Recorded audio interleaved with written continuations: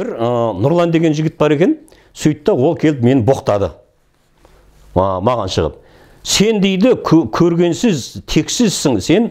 Ә, ана аққудың несін ә, түсіндіре алмадың сен ба сен ана сен бүлдірдің бәрін. Мақтаншақсың сен дейді не метафизик деп кәдімгі сөйтіп. Сосын мен сен кімсің десем мен ауылдың ең мықты шәкіртімін деді. Енді сен жарайды сен ақылдың шәкірті екенсің. Қарасаң түскен жерлерің бәрі жалаңбас жалаң аяқ жүрген. Сен қаяқтан шәкірт боласың айналайын. Сен енді сенде ешқандай сұңқарлық жоқ десем жоқ сол әлі кезге дейін маған осы соғысып келе да мен мықтымын қарабақ осы бақсылықты меңгерген жаңағыдай осындай менің алдымнан бәрі жазылып кетіп жатыр деген сияқты да. Сосын мен сұраттым енді. Жарайды сөйтсем ол енді атын жасырады. Жаңағы әділхан деген атасының атауы деймін. Әділхан дастан деп қойыпты. Сөйтсем оның аты дастан емес нұрлан екен кейін мен туған күнін бәрін таптырып алдым да. Сосын бес бес адам бір сұңқар ә, төрт аққуға сырқат белгісін қойдырдым. Құранмен жалғанып тұрған енді біреулер айтып жатыр мұнда жастықтың жеңімен ажырата алмай қалған дейді қара күштің қолшоқпарына айналған деп отыр ә, бұған аяушылықпен қарау керек дейді да. Онан күресе алса көтеріл есін жинайды деп. Осындай осындай бірін бірін қайталап тұр да екіншісі айтып отыр сабырлық жоқ дейді бойындағы несібесін жоғалтып шашып алған дейді отбасын шырқын бұзған дейді қаралық басым деп отыр. Ә, ә, сосын мына ақшаға жақын дейді. Ы, ақылақтық қасиет бар дейді жолында тұр дейді әлі меңгере алмаған дейді. Үшінші біреуі дейді сұңқарлыққа тән қасиет жоқ дейді шайпауыз дейді. Жүрек төбесінде қарадақ суықтық сұқ тұр дейді төбесінде дейді. Жалаңбас жүрген ғой енді? Қатын жынмен жүктеліп алған дейді. Жанжалға бейім дейді белде оралып тұр дейді. Енді енді негізгі мен мынандай қылдым да ең негізгі кім бар жаңағы? Осы мен екі аққуым бар дедім ғой санап тұрамын біреуі астанада біреуі қызылордада екеуін мені үнемі бақылап отырмын енді. Өйткені олар қателік жіберетін болса мені құлатады. Сондықтан үнемі бұлар ең тақуалықты мықты ұстайтын енді сонда біреу мынатып онда былай деп жазыпты. Ата асал атасы қолдап тұр. Яғни текті тұқымнан ғой сондай. Бақсылық талақта қарадақ тұр дейді. Телміріп қарайтын әдеті бар дейді. Сол жақ иықты жүк басып тұр дейді. Қара бақсылықпен әсте қайнасып тұр дейді. Яғни қара бақсылықты ұмытып кеткен да қағынан қарқ сағанақ салып болмай тұр дейді. Өңештің кілегей қабатында кебіңкілік бар яғни өңеш кепсе онда ол сұңқарлық та аққуда бәрі өңештен пайда болады ғой. Жоғалып кеткен ғой енді. Кәдімгі жыннан хабар беру деген осы. Иық буындарында суықтық бар дейді. Бас тамыр кеңейген дейді. Көз қан тамырларының қысымы бар дейді.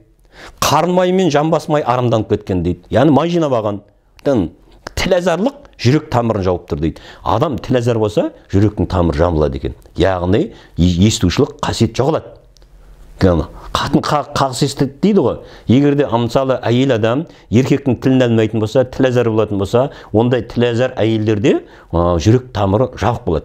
Тілазар тілазар соны өйткені неге? Оны еркектің соны пайғамбарымыз айтқан ғой. Мен егер де алла тағаланың үкім беретін болсам әйелдің күйеуіне сәжде қылған бұйырар едім деп.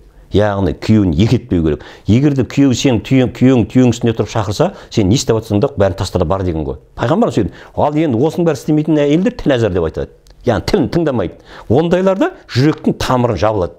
Міне оны түсіп тұр мінекей оң жақ табанында дейді өрісті қара тікен бар дейді. Міне жалаң аяқ жүргеннен. Омыртқа бойында сұққан дейді. Тоятаның жетегінде тұр дейді.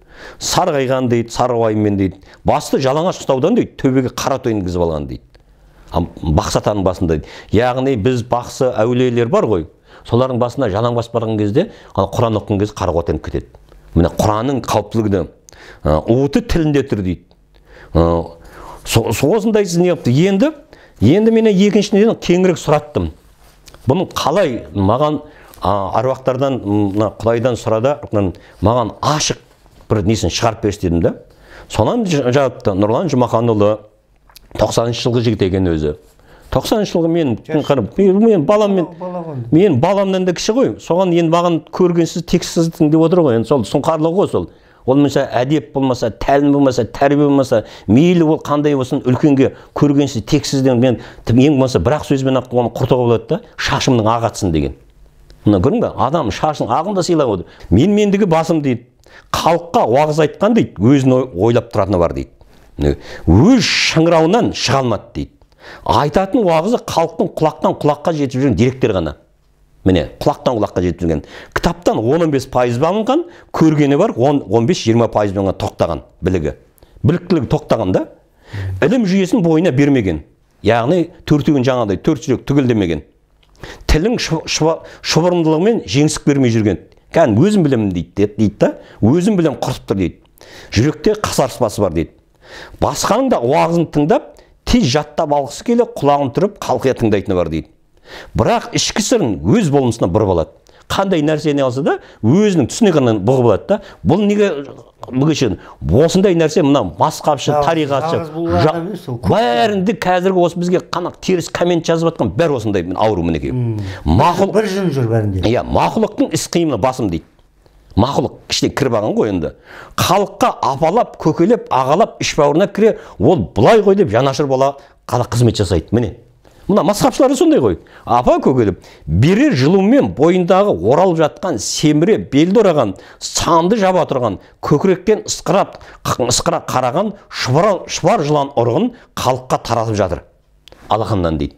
Міне көрдің бе қазір осылардың іштерінде мына белді орап тұр көкірекке келіп тұр жамбасты алып жатыр сол жыланды уын енді халыққа таратып жатыр. Мына кәдімгі сипап жібердім деп емшілер көп қой мен ем халықты мен ауылдың мықты шәкіртімін деп әруақтар атын жамылып мақұрымға жетелеуде. Алақанда ісіне ең мықты деген адам иә иә осы ең осы. Алақанда ісіне бас бармаққа ауа жібермей тұрған құрбақа терісінен дәрет құрбақа терісі құрбақаның терісі алақанды қапталып қалған. Терісінен дәрет шашырай қолымен жылу жіберіп тұрғандай ауруынан тұрғыз жібердім дейді.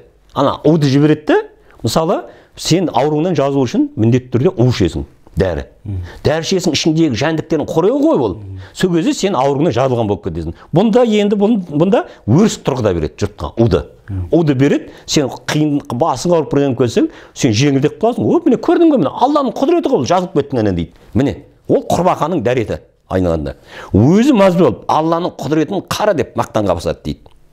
Көкірегіне мақтан кіре семіріп аузын толтыра сөйлеп халыққа қарап сол зәрлі қолмен асты ішіп аузынан енген ащы о басын қыса жүреді. Яғни мында бас ауру бар басын қысып жүр. Өзі сол қолында уменен тамақ ішіп отыр ғой. Оны енді осындай міне ауызға ащы дәм келеді. Қазір таңда 24 жыланы белсенді жұмыс жасауда. Міне 41 жыланға дейін бар мынау бұл мен оны талайларын көрдім төбесінен атыла қарап тұрған әз жыланды асырай жүр дейді. Ол не? Іблістің көзі мына жылан болып төбесінен атыла қарап тұрған. Әрбір жақсылық игілікке қарсы атылып іштарлықпен сөз тайталас майданымен алла жолында соғып жүрмін деп ісінеді. Көрдің бе? Әрбір не болса соған қарсы шығады қалай да соны терістеу өзін көрсету мен осы алла жолында мен ең керемет менмін дегенді кезінде дейді ерке бала бола дейді мына ерке бала болған қолында ақшасы болған сондай өскен ғой. Санаулы тиын тебен болса да сол тиын тебенді ұстау әдеті басым болып алған. Тиын тебенсіз жүрмеу керек әр кезде ақша ұстасам деп қайдан келеді деп ұйқыдан түртіп отырады ұйқыдан оя салады дейді. Бірақ мұндай әдетін өзіне мойындату қиын. Асқазанда шырын мол. Бүйректе ақуыз молынан бүйректе ақуыз молынан жиналып қалған. Бүйрек талақ он екі қатпар ішек қарынға зақым келтірген. Малы өз қалпымен жұмысап жүрмесе өзіне өзі қайта келу қиын. Міне өзіне өзі қиын өз тағдырын жоғалтып алған. Әр пенде не айтты деген ой мазалайды сен бірдеме болса мен не айтты жұрт мақтай ма не айтты мен деп соны мой- мойымалайды өзі ұшқалақтата жүр дейді. Мұндай дерттен айығу үшін. Енді бұл осындай мен бұны неге айтып отырмын? Осындай жағдайға түскендер көп. Осындайлармен Көпшіліктің иә енді иә иә осындайларменен қараланып қарғандар көп та. Енді мен жолым жабылып қалды мен ата жолында болдым қаншама зираттандым пәлен емшіні араладым деген солардың уын жинап алды ғой. Енді ол да осымен бірдей ғой енді соны жалғас осындайлар енді қандай жолдан шығуға болады?